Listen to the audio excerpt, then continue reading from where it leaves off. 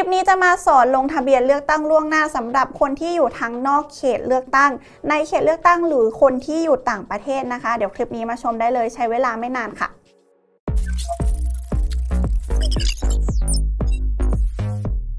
วัสดีค่ะ การเลือกตั้งในปีนี้นะคะ ปี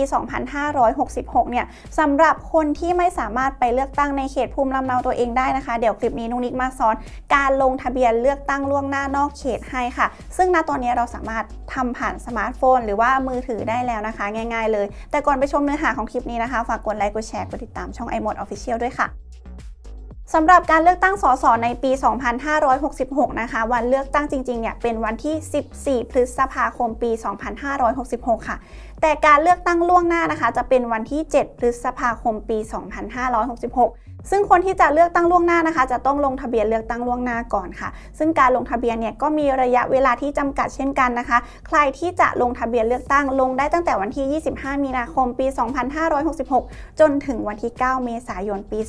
2566 ค่ะ และในการเลือกตั้งนะคะ อาจจะมีคำถามที่ว่าทำไมเราจะต้องไปเลือกตั้งนะคะ การเลือกตั้งสสก็คือการเลือกผู้แทนของเราเนี่ยสสหนึ่งคน ไปเป็นตัวแทนของเรานะคะ ซึ่งสสเนี่ยเขาก็มีหน้าที่หลายอย่างนะคะ ไม่ว่าจะเป็นการออกกฎหมาย การจัดตั้งรัฐบาลรวมถึงการตรวจสอบการทำงานของรัฐบาลด้วยนะคะ เพราะฉะนั้นสสเนี่ย ก็เป็นตำแหน่งที่สำคัญเช่นกัน คนที่เราเลือกนะคะ ก็จะต้องเป็นคนที่เรามั่นใจแล้วก็ไว้วางใจที่จะให้เขาไปบริหารประเทศแทนเรา และในฐานะที่เราเป็นประชาชนหรือว่าพลเมืองคนไทยนะคะ เราก็มีหน้าที่ไปใช้สิทธิ์ใช้เสียงเลือกตั้งนะคะ เพราะว่าการไปเลือกตั้งนะคะ ก็ถือว่าเป็นอีกหนึ่งแรงเล็ก ๆ ที่จะช่วยขับเคลื่อนประเทศของเราให้ไปในทางที่ดีขึ้น เพราะฉะนั้นนุกนิกและทีมงานไอโมดนะคะ ก็ขอรณรงค์ให้ทุกคนไปใช้สิทธิ์เลือกตั้งกันค่ะ และสำหรับคนที่มีสิทธิ์เลือกตั้งนะคะ ก็จะเป็นประชาชนคนไทยนะคะ ที่มีสัญชาติไทยตั้งแต่กำเนิดมีอายุ 18 ปีบริบูรณ์นะคะ หรือใครนะคะที่โอนย้ายสัญชาติมาจากต่างประเทศ จะต้องเป็นพลเมืองไทยที่มีสัญชาติไทยไม่น้อยกว่า 5 ปีค่ะ และผู้ที่ไม่มีสิทธิ์เลือกตั้งนะคะ ก็จะมี 3 กลุ่มคนดังนี้ค่ะ 1 ก็คือพระภิกษุสามเณรนะคะ อย่างที่ 2 ก็คือผู้ที่ถูกคุมขังอยู่นะตอนนี้นะคะ และอย่างที่ 3 นะคะ เป็นผู้ที่อยู่ระหว่างการถูกเพิกถอนสิทธิ์การเลือกตั้งค่ะ ต่อไปนะคะเรามาพูดถึงข้อมูลของผู้ที่มีสิทธิ์ลงทะเบียน เพื่อขอใช้สิทธิ์เลือกตั้งล่วงหน้ากันค่ะ ก็จะมี 3 กลุ่มคนดังนี้เลยค่ะ1นะคะก็คือผู้ที่ได้รับคำสั่งจากทางราชการให้ไปปฏิบัติหน้าที่นอกเขตเลือกตั้ง กลุ่มคนนี้นะคะ สามารถขอใช้สิทธิ์เลือกตั้งล่วงหน้าในเขตเลือกตั้งของตัวเองได้ค่ะ กลุ่มคนที่ 2 นะคะก็คือ ผู้ที่มีชื่ออยู่ในทะเบียนบ้านน้อยกว่า 90 วัน หรือคนที่พักอาศัยอยู่นอกเขตเลือกตั้ง และมีกิจธุระนะคะ ก็คือการที่เราไปทำงานต่างจังหวัด แล้วเราจะใช้สิทธิ์เลือกตั้งล่วงหน้าก็คือเป็นกลุ่มคนนี้ค่ะ สำหรับคนกลุ่มที่ 2 นี้นะคะ สามารถขอใช้สิทธิ์เลือกตั้งล่วงหน้านอกเขตเลือกตั้งได้ค่ะ และกลุ่มคนที่ 3 นะคะ ก็คือคนที่อาศัยอยู่ต่างประเทศ หรือต้องเดินทางไปต่างประเทศระหว่างช่วงที่มีวันเลือกตั้ง ก็สามารถขอใช้สิทธิ์เลือกตั้งล่วงหน้านอกราชอาณาจักรได้ค่ะ และสำหรับการลงทะเบียนขอใช้สิทธิ์เลือกตั้งล่วงหน้านะคะ ใครที่เคยลงไปแล้วเมื่อ 4 ปีที่แล้วเนี่ยในปีนี้นะคะ จะต้องลงใหม่อีก 1 ครั้ง มี 3 ช่องทางด้วยกันนะคะ 1 ก็คือไปยื่นด้วยตัวเองต่อนายทะเบียนอำเภอนะคะ อย่างที่ 2 ก็คือสามารถยื่นทางไปรษณีย์ได้ และอย่างสุดท้ายง่ายที่สุดเลยค่ะ ก็คือการลงทะเบียนออนไลน์ค่ะ และสำหรับการลงทะเบียนขอใช้สิทธิ์เลือกตั้งล่วงหน้าทางออนไลน์นะคะ สามารถทำตามง่าย ๆ ดังนี้เลยค่ะ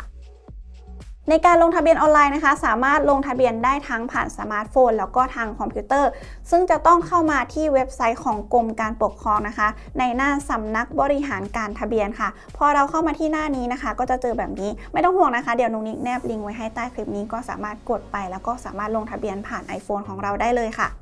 พอมาเจอหน้านี้นะคะ ให้แตะไปที่ลงทะเบียนใช้สิทธิ์เลือกตั้งนอกเขต ในการเลือกตั้งสสก็คือคนที่อยู่ต่างจังหวัดทำงานต่างจังหวัด ก็ให้เลือกอันแรกนะคะ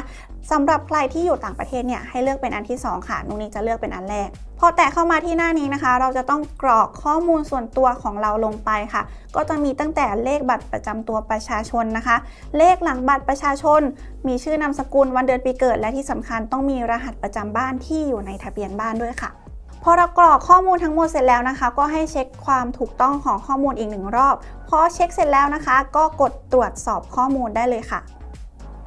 หน้าต่อไปนะคะก็จะมีข้อมูลบอกว่าเราชื่ออะไรนะคะ แล้วจังหวัดที่เรามีสิทธิ์เลือกตั้งจริง ๆ แล้วคืออะไรอย่างของนุ้งนิ้งเนี่ยเป็นจังหวัดที่อยู่บ้านเกิดก็คือพะเยาเขต2นะคะ ซึ่งวันเลือกตั้งจริง ๆ อย่างที่บอกไปเป็นวันที่ 14 พฤษภาทีนี้ที่ด้านล่างนะคะ จะมีข้อมูลการลงทะเบียนใช้สิทธิ์นอกเขต อันนี้นะคะให้เราเลือกเป็นจังหวัดค่ะ ซึ่งจังหวัดตรงนี้นะคะ จะเป็นจังหวัดที่เราจะไปลงทะเบียนเลือกตั้งล่วงหน้านะคะ พอเราเลือกจังหวัดเสร็จเนี่ยสถานที่เราก็เลือกสถานที่ที่เราสะดวกได้เลย อาจจะเป็นสถานที่ที่อยู่ใกล้บ้านก็ได้ค่ะ พอเลือกเสร็จแล้วนะคะ ก็กดบันทึกข้อมูล แล้วก็กดยืนยันค่ะจากนั้นนะคะ ระบบก็จะขึ้นว่าลงทะเบียนเป็นผู้มีสิทธิ์เลือกตั้งนอกเขตสำเร็จแล้วนะคะ ก็กดปิดไป ทีนี้นะคะเราก็จะมาเจอกับหน้านี้เหมือนเดิม แต่ว่าจะมีปุ่มให้เราพิมพ์เอกสารนะคะ เรากดตรงนี้เลยที่เป็น เครื่องพิมพ์กดไปเลย เราก็จะมาเจอกับเอกสารที่เราสามารถเก็บไว้ เพื่อยืนยันว่าเราลงทะเบียนเลือกตั้งล่วงหน้าเสร็จแล้ว แล้วก็สามารถเอาไปยื่นกับหน่วยงานราชการได้ถ้ามีปัญหาอะไรนะคะ อันนี้นุกนิกแนะนำให้เซฟเก็บไว้ในเครื่องนะคะ อย่าง iPhone ก็เก็บไว้ในแอปไฟล์ก็ได้ค่ะ แล้วแต่สะดวกเลย แค่นี้นะคะก็ถือว่าเราลงทะเบียนขอใช้สิทธิ์เลือกตั้งล่วงหน้าสำเร็จแล้วนะคะ และอย่าลืมไปเลือกตั้งนะคะ ในวันที่ 7 พฤษภาคมปี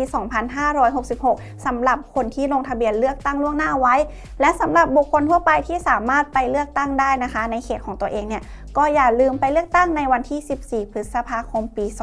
2566 ค่ะ เอกสารที่จะนำไปยื่นในการใช้สิทธิ์เลือกตั้งนะคะ ก็มีแค่บัตรประชาชนแค่ใบเดียวค่ะ และสำหรับคนที่สงสัยนะคะว่าแอปที่ชื่อว่า Smart Vote ที่เราเคยใช้ไปเมื่อหลายปีก่อนนะคะ สามารถใช้งานในการลงทะเบียนเลือกตั้งล่วงหน้าในครั้งนี้ได้ไหมนะคะ มันก็สามารถทำได้เหมือนกัน แต่พอเรากดเมนูไปในแอปเนี่ยมันก็จะพามาที่เว็บไซต์ที่นุนิกบอกนั่นแหละเพราะฉะนั้นนะคะ การลงทะเบียนเนี่ยก็จะมีที่เดียวถ้าเป็นทางออนไลน์นะก็คือ ในหน้าเว็บไซต์ bola.dopa.go.th ค่ะ และสำหรับใครนะคะที่ลงทะเบียนเลือกตั้งล่วงหน้าเสร็จเรียบร้อยแล้ว แต่ว่าเกิดไม่สะดวกขึ้นมาอยากเปลี่ยนสถานที่ในการเลือกตั้งนะคะ ก็สามารถทำได้เหมือนกัน สามารถทำได้เพียงหนึ่งครั้งเท่านั้นนะคะ ก็คือทำขั้นตอนทุกอย่างเหมือนเดิมเลย แต่เลือกสถานที่ที่เราสะดวกค่ะ และทั้งหมดนี้นะคะก็เป็นข้อมูลทั้งหมดสำหรับการลงทะเบียนเลือกตั้งล่วงหน้านะคะ อย่าลืมว่าเราไม่ได้เลือกตั้งกันมา 4 ปีแล้วนะคะ ปีนี้ก็อย่าพลาดค่ะไปใช้สิทธิ์กันด้วยนะสำหรับคลิปนี้นะคะนุนิกฝากไว้เพียงเท่านี้ก่อนฝากกดไลค์กดแชร์กดติดตามช่องไอโมดออฟฟิเชียลด้วยค่ะ คลิปนี้นุนิกขอลาไปก่อนนะคะ สวัสดีค่ะ